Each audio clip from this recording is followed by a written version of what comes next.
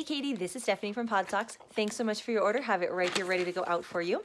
Um, hope you are as excited to receive it as we are to send it to you. If there's anything we can do to provide you with exceptional customer service or just make you smile, please let us know and have a super socksy day. Cheers!